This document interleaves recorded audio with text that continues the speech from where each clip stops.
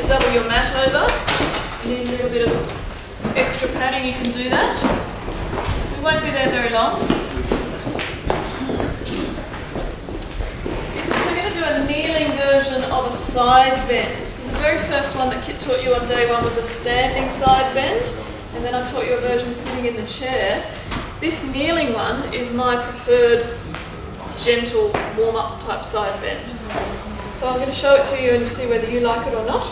So just do it with me. I'm kneeling up on my knees and roughly I've got knees hip width apart but wider if you need more support that's good. And my hips are above my knees. Now do a little bit of a tail tuck because most people's spines don't like to bend to the side when there's some extension there so the tail tuck will flatten along the curve. And just like with the standing one, you've got a choice of support. You could do a hand on the hip, bend to the side. The reason I like this one is that I find if I slide down the outside of my leg there, the calf is very handily there for me to lean on. Okay, but your level of flexibility or proportions might not lend itself. You could always have a block handy as well, but we don't have blocks and we're not going to get them. So let's just do either hip support or try sliding down and see whether you can just hold the calf. If you're holding the calf, you don't want to do it to the point where you're distorting the hip position. Okay, it's a side bend. So go into your initial side bend and just see how it feels. Try to have the hips and your shoulders pointing to the front. So it's a strict side bend. And it's a supported side bend. So whichever support you chose, can you feel weight bearing down through that arm? It's not cosmetic, it's actually holding you in the side bend. Can you relax the neck? You want to expose the side neck muscles, then you'd keep your nose pointing to your front. But as I said the other day, my neck doesn't like that. I tend to look at the floor. Can you breathe in this position? Breathe and relax. Now, if that's sufficiently intense for you today, you can just hold it there and continue to breathe. But if you want to add the other arm, take it through the front, nice and slowly, and it doesn't matter where it ends up. It can be the front, it can be pointing to the ceiling, the elbow can be bent, but wherever it ends up, you want to actively reach the arm out of the shoulder joint. So you're using trapezius to stretch the lats. Can you breathe comfortably everywhere that's under stretch or you're just working hard and holding a shape? Breathe and relax. Can you breathe into the armpit on the uphill side? Can you breathe into the ribs? Can you breathe into the waist? Every time you breathe out, try and let a little bit more weight come onto the support arm. And that just increases the side bend. Excellent. What's the dismount for a side bend? Not that, Marcia. Roll through the front.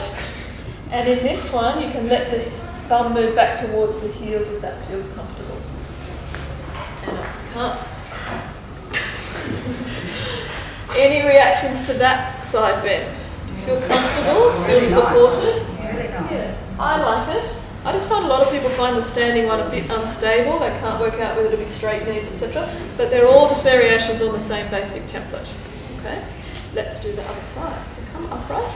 In this one, let's talk about the hips in this plane many people, they tend to move the hips out to the side when they bend to the side. That's good if you want to get more pull through the side of the leg here, but if you want a stronger waist sensation, don't let the hips move at all, just bend to the side away from the waist.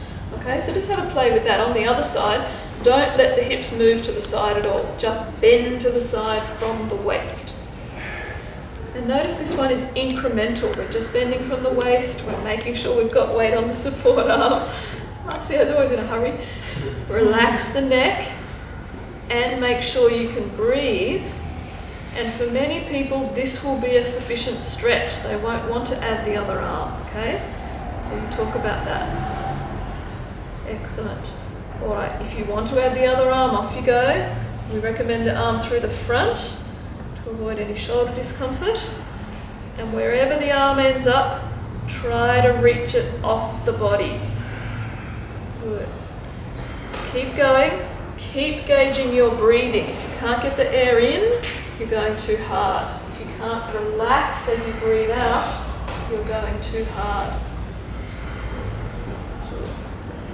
Now on this side, wherever you feel the stretch most intensely, waist, ribs, armpit, wherever it is, five slow deep breaths into that exact little bit of tissue.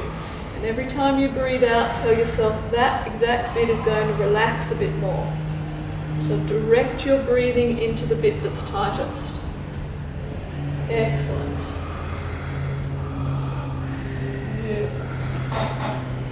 When you want to come out, slowly roll the back arm and shoulder to the front. Sit back on the heels if you need to. And then jump up onto your feet. Bend the knees. And this is the washing machine, recovery